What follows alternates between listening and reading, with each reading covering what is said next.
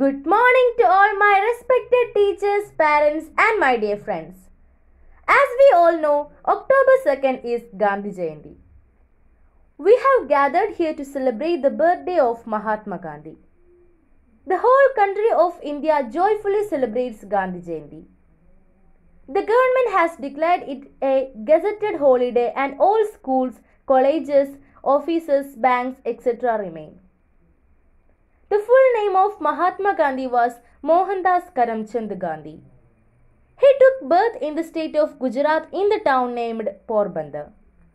The legacy which Gandhiji has left behind still impacts the people living in modern times. Gandhi Jayanti is celebrated to remember Gandhiji's principles of peace and non-violence and to educate and inspire the present generation the contribution made by Gandhiji to make India an independent country. Relentlessness and hard work to achieve Swaraj are truly commendable. Not only that, but Gandhiji also worked to get rid of other social evils to make India an inclusive country. He worked tirelessly to remove the system of untouchability which was very prevalent back then.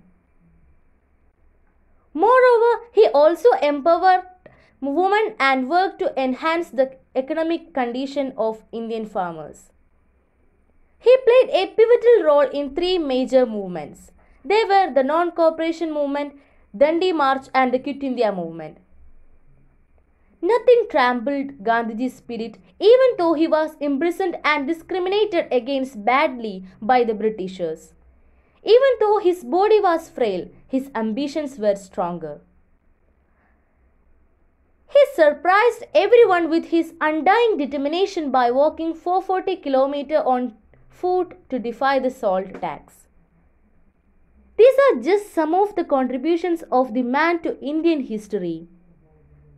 Gandhiji has been given the title of Father of India as he took up the path of non-violence to fulfill his goals. An international organization like United Nations General Assembly has marked his birthday, birth anniversary as the International Day of Non-Violence. On 31st January 1948, Mahatma Gandhi was assassinated by a Hindu nationalist Nathuram Godse who was also a member of Hindu Mahasabha.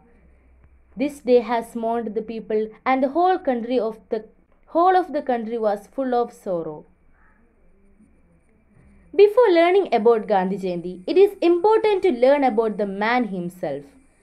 My dear friends, a speech is not enough to speak about Mahatma Gandhi's values and deeds, but we as the future of the country can honor him by living our life with these principles of truth, peace and non-violence and lead our country to an incredible national.